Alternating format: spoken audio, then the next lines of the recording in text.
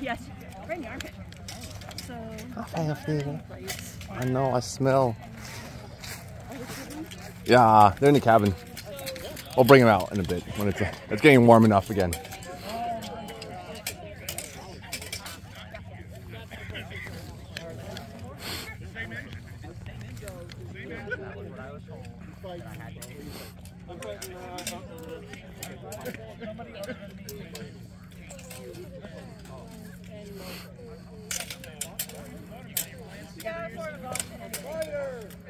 Oh, yeah! Heavy fighters to the field!